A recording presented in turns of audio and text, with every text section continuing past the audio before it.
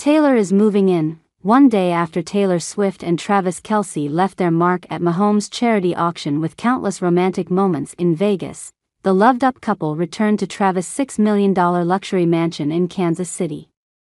Taylor Swift will spend a week relaxing with her boyfriend in brand new mansion in the city with all the privacy they need.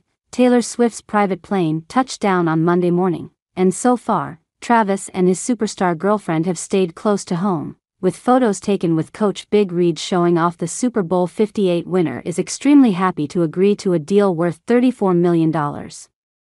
Travis and Taylor dropped a huge hint that they might watch the Miami Grand Prix this weekend. And there were signs that Taylor Swift was ready to support Travis and Jason Kelce in this week's episode of the New Heights podcast.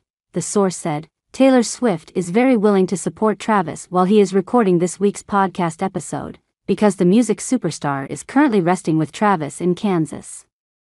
The source revealed that Tay has prepared a number of outfits to refresh Trav's image on live broadcast.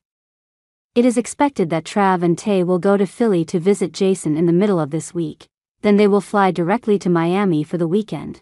Travis Kelce recently debuted a new look, and Taylor Swift fans have a theory about the reason behind it. On Saturday, April 27th, the pop superstar and Kansas City Chiefs captain attended a charity event for teammate Patrick Mahomes, 15th nonprofit and the Mahomes Foundation. The fundraiser is part of a weekend long golf charity event in Las Vegas.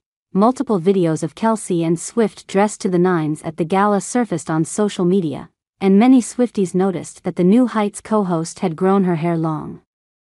In a clip shared via TikTok, Kelce watched an auction house accepting bids for four Eras tour tickets donated by Swift. His hair. He's growing his hair long and I love it. While another speculated Swift Kelce's engagement was imminent and declared, he's growing his hair long in preparation for the wedding.